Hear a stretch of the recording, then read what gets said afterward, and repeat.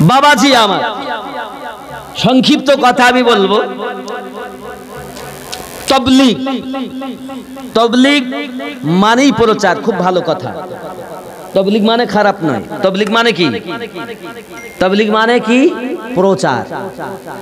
কি প্রচার? ইসলাম প্রচার। কোথায় প্রচার? অমুসলিমদের কাছে। ইসলামের প্রচার। মুসলমানের কাছে এসে তুমি তো প্রচার করছ না। তুমি শিক্ষা দিচ্ছ। কি শিক্ষা দিচ্ছ? কোরআন শেখো। ভাই, জানো না শেখো। নামাজ জানো না শেখো। তুমি দোয়া জানো না শেখো। এটা ভালো জিনিস। এর নাম শিক্ষা, এর নাম কি? শিক্ষা। আরবিতে বলে তালিম। আরবিতে কি বলে? তালিম। আমি তবলিগের বিরোধী নয়। তবলিগ করা ভালো। তবলিগ করা ভালো। তবে তবলিগটা যেন ইলিয়াসি না হয়। তবলিগটা যেন নবী পাক সাল্লাল্লাহু সাল্লামের তবলিগটা হয়। এবার আসুন, পার্থক্যটা কি? বাবাজি আমার। তবলিগ মানে প্রচার। তবলিগ মানে কি? ভালো করে বুঝবেন, তবলিগ মানে কি? প্রচার। কি প্রচার? ইসলাম প্রচার, দিন প্রচার। দিন দয় হসি দন্তান্ন দিন, সকাল থেকে সন্ধ্যা।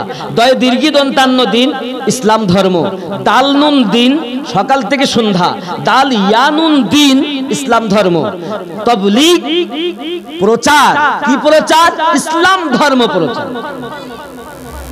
কোথায় প্রচার করবে? বলছে যারা মুসলমান নয়, তাদের কাছে। আপনি কোথায় এসেছেন? বলছে, মুসলমানদের কাছে। তাহলে আপনি নাম দেন তালিম, তালিমি জামাত। শিক্ষা দেওয়া জামাত। খুব ভালো কথা। কিন্তু আপনি তালিমি জামাত না বলে তবলিগি জামাত বললেন? ওই আপনি ডোমদের কাছে তো গিয়ে প্রচার করলেন না? ডোকলাদের কাছে গিয়ে প্রচার করলেন না? মুচি মেতরের কাছে গিয়ে প্রচার করলেন না? সিনেমার আড্ডায় গিয়ে তো একবার বললেন না? আপনি মুসলমানদের কাছে এসেছেন। শিক্ষা দেওয়ার জন্য। আমি বলছি শিক্ষা দেওয়া ভালো। তবে তার নাম দেন তালিমি জামাত। এক কথায় বোঝা গেল, নামে আর কাজে মিল নেই, অসুবিধা আছে। নামে আর কাজে মিল নেই, এখানেই অসুবিধা। নাম্বার দুই তবলিক জামাতের মধ্যে চিল্লা করে জানেন? চিল্লা করা। এইরূপ ভাবে বাধ্যবাধকতার মধ্যে ইসলাম শরিয়াতে নেই। ইসলাম শরিয়াতে কি আছে? জামাত। চিল্লা করা। আব্বাজি আমার, কি হয়?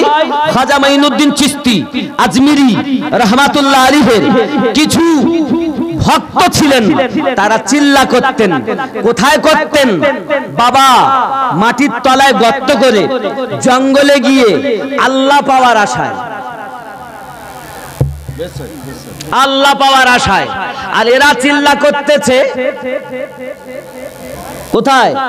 মসজিদে মসজিদে। গ্রামে গ্রামে। শুধু তাই নয়, আরও আমি দুঃখ পাই। ওরা তো ভালো কাজ করছে। কিন্তু আমি দুঃখ পাই কোন জায়গায়? খেয়াল করুন। বাবা, তারা চিল্লায় গেছে। মনে করুন, আমি আমিন উদ্দিন চিল্লায় গেছি চল্লিশ দিনে। যাওয়ার পরে, দশ দিন পরে আমার কাছে খবর গেল, আমিনুদ্দিনের আব্বা ইন্তেকাল করেছে। আমি আমিনুদ্দিন, সেই জায়গা থেকে খবর পেয়ে গেলাম। কিন্তু আমি জানাজা পড়িয়ে বাড়ি ঘরেও ঢুকতে পারব না, কোথাও যেতে পারব না। গেলেই আমার জামাতের নিয়ত চিল্লার নিয়ত ভেঙে যাবে। জানাজা পড়েই বাইরে বাইরে চলে আসতে হবে। এইরূপ বাধ্যকতা যদি আপনি কোরআন ও হাদিস এজমা কেয়াস দেখাতে পারেন, যে ইসলাম এটাই এতটা জোর দিয়েছে, তাহলে আমি আপনারটাই মেনে নেব। আমি আপনারটাই গ্রহণ করব। আর যদি না থাকে, তাহলে বাদ দিতে হবে। তাহলে বাদ দিতে হবে। হে বাবা অবশ্যই চিল্লা করেন। আল্লাহ পাওয়ার আশায়। নবী পাওয়ার আশায়। দুনিয়ার জমিনে আর কিছু নয়। আমি বুঝাতে চাই, আপনি ঘর ছেড়েছেন নেকির আশায়, বিবি ছেড়েছেন নেকির আশায়, বাচ্চা ছেড়েছেন নেকির আশায়, মসজিদে গেছেন, নামাজে ভাই, আসেন নামাজ পড়ি। ভাই, আসেন আমরা দোয়া শিখি। ভালো কথা, তো যখন নেকির আশায় ঘর বাড়ি ছাড়তে পেরেছেন, তো নেকির আশায় সালাম পড়লে অসুবিধা কোথায়?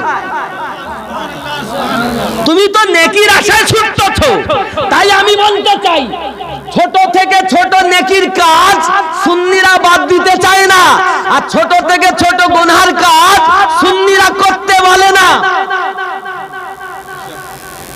আমি বুঝাতে চাচ্ছি, আপনি ছেলে, মেয়ে, বিবি, বাচ্চা সব ছেড়ে গেছেন নেকির আশায়। আপনি বুঝেছেন আপনার দলের মানুষ বুঝিয়েছে, এটা করলে নেকি হবে। তা বাবা, সালাতো সালাম পড়লে কি গোনা হবে? তাহলে বোঝা যায়, ওরা নেকির আশা যায় বটে।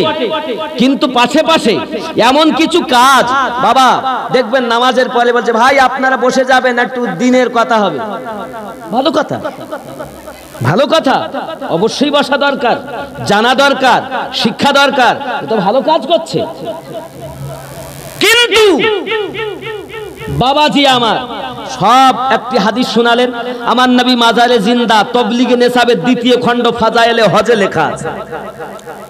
আমি যে বললাম নবী পাক মাজার থেকে হাত মোবারকা বার করেছেন তবলিগে নেসাবের দ্বিতীয় খণ্ড ফাজাইলে হজের মধ্যে লেখা আছে। তাহলে হাদিস শোনালো নবী জিন্দা। ভালো। কিন্তু সঙ্গে একটুখানি বলে দিল। নবীরা। বাবা, নবী পাকে শানে সালাম পড়া ওটা। সাহাবিরা কেউ করিনি, কোনো নেই, এগুলো বেদাত। হাদিসটা তো ভালো পড়ালেন। তারপরে আপনি একটুখানি স্যাম্পেল দিলেন।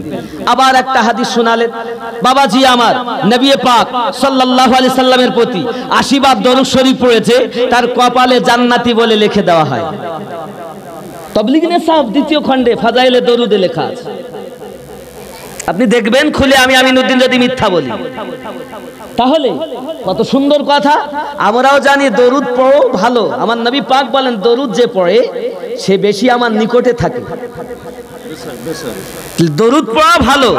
তাহলে আপনি দরুদ পড়ছেন, পড়াতে পড়তে বলছেন ভালো কথা। হঠাৎ বলতে সবই ভালো। বাবা, জানাজার পরে দোয়া নেই।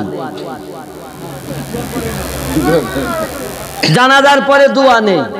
তাহলে বাবা, এত সময় ভালো, এই যে আস্তে আস্তে ষোলো পয়জান, এই ষোলো পয়জানে নষ্ট করে ফেলেছে। হাদিস শিখাচ্ছে, ভালো কথা শোনাচ্ছে, কোরআন শিখাচ্ছে, ভালো কথা, নামাজ শিখাচ্ছে, ভালো কথা, আরও শিক্ষা দেন। তবে প্রচার করুন। নবী পাক সাল্লা সাল্লামের তবলিগ, বা নাম ইলিয়াসি তবলিগ। আমরা নবী পাকের তবলিগকে মানি ইলিয়াসি তবলিগ মানি না। তার কারণ এটাই যে ইলিয়াস সাহেব বলেছেন, ইসলামের স্তম্ভ ছটি। আর আমরা বলি ইসলামের স্তম্ভ ইসলামের ভিত পাঁচটি। কলেমা, নামাজ, রোজা, হজ জাকাত আর উনি বলেছেন, একরামুল মুসলিমিন, মানুষের কাছে, মুসলমানদের কাছে একরার করা স্বীকৃতি দেওয়া। এই যে গ্রামে গ্রামে গিয়ে যাওয়া, এটা কোথায় পেয়েছ বাবা?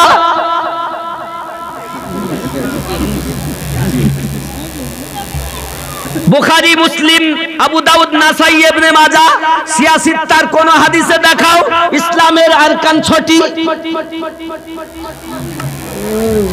হ্যাঁ আমি আপনাকে বলব, আপনি তাকে ভালোবাসেন, তার অনুগামী হয়ে আপনি ছটি বলতেছেন, ওটা আপনার জন্য মোবারক।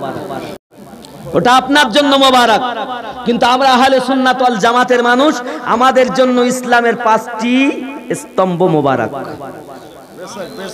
আমরা তোমার দলে যেতে চাই না, আমি আমার দলকে বাঁচাতে চাচ্ছি যে এ থেকে দূরে থাকুন। তার কারণ, ওরা ইলিয়াসি তবলিক করে আর আমরা নবী পাকের তবলিক করি। কেন?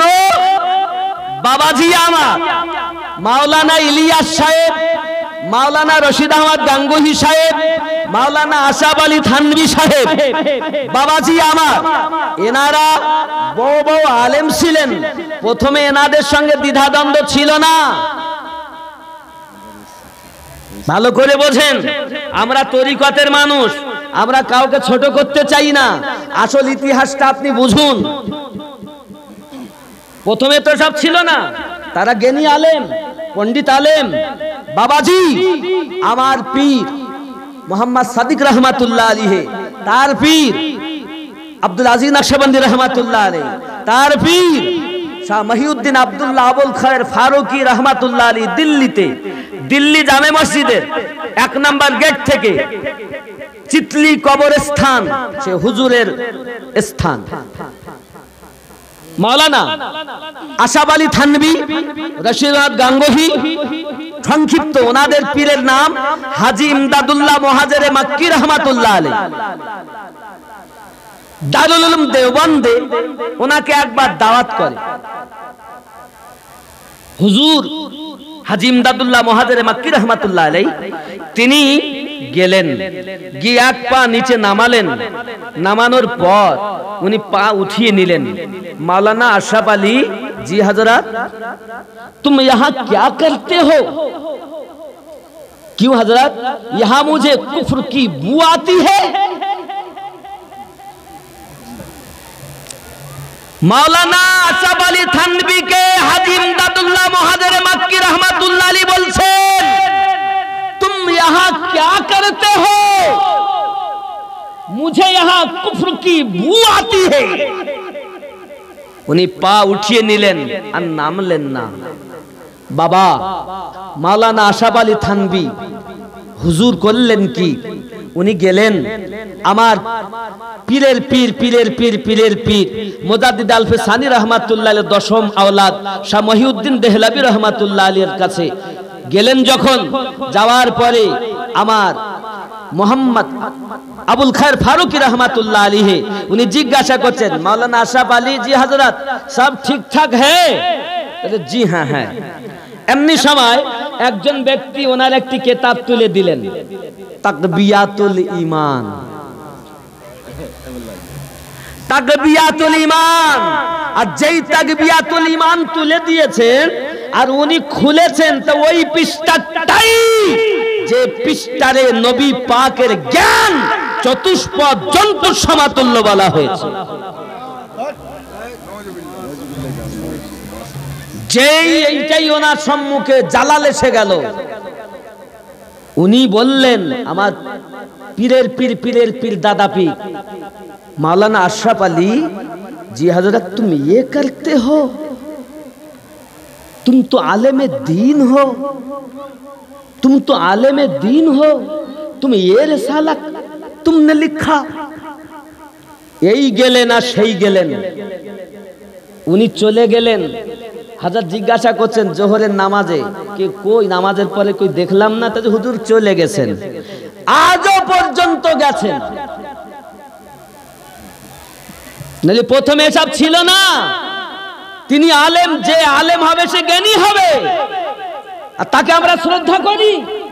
কিন্তু যেই নবী পাকের সানে আলে নবী পাকের সানে গুস্তাখি করবে, আমরা তখন সহ্য করব না। আমরা তখন সহ্য করব না। আমরা সব সহ্য করতে পারি। আমিনুদ্দিনকে গালি দাও, সহ্য করতে পারি। কিন্তু আমার নবী নবী পাকের আলকে তুমি গালি দেবে, শান ছোট করবে, আর আমি তোমাকে হুজুর বলব, এটা সম্ভবপর হয়ে উঠবে না। কারণ আমরা জানি কারবালার মাটিতে ওরা নামাজ তো পড়তো, কিন্তু আলে নবীর মাহাব্বাত না থাকার কারণে আজ তারা বঞ্চিত হয়েছে। আসুন, আমার নবী পাকের